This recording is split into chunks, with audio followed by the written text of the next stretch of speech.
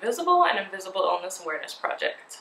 This week I wanted to talk about diamine oxidase, which is an enzyme that helps with the decomposition of dietary histamine. And I covered in the histamine intolerance video the different types of histamine. This would be the type that you get either in the food you eat or that your GI tract produces as part of the digestion process.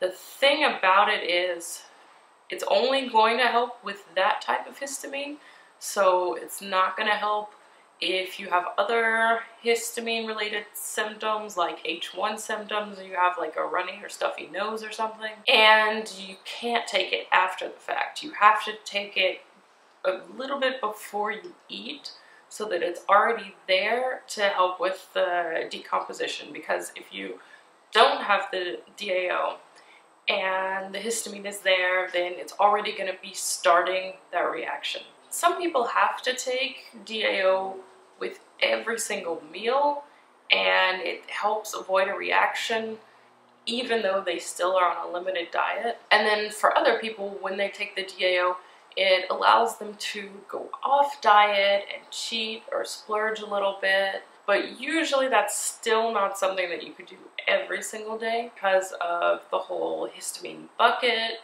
and the way that it'll build up if you keep doing it back to back. Personally, I have tried taking DAO supplements a couple times at one point I got one brand and I think it was discontinued shortly after that. So the next time I got a different brand.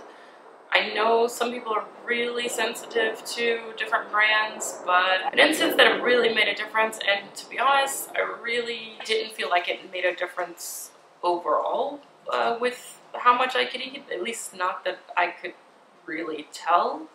I would take a few of them before going out and eating stuff that I normally shouldn't. And it might have helped with the reaction, but I guess for me, my main focus has really been trying to find ways to get my energy level up, and it wasn't helping me out there.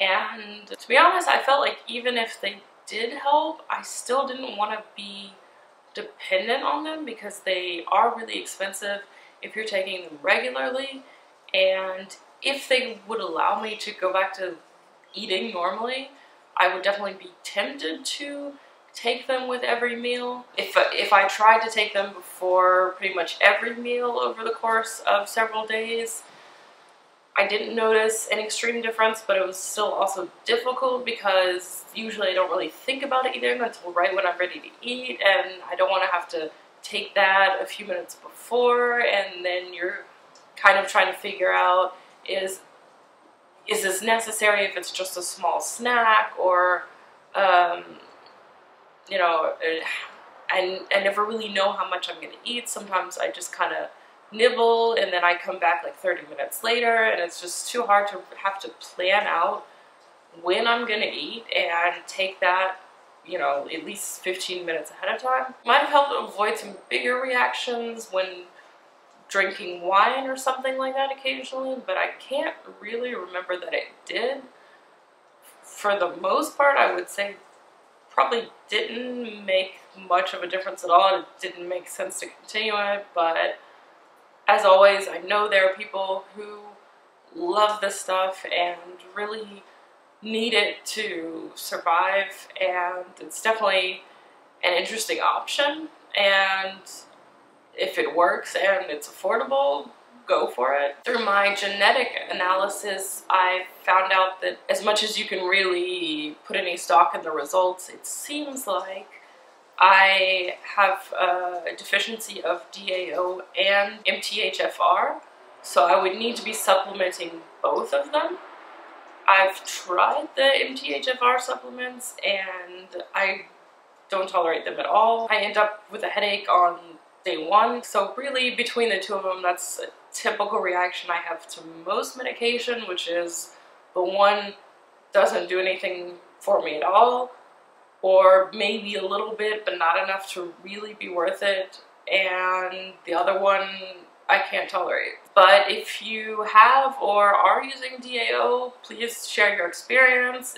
Uh, did you not tolerate it well? Did you feel that it really turned your life around? How did it go for you? Go ahead and let us know in the comments.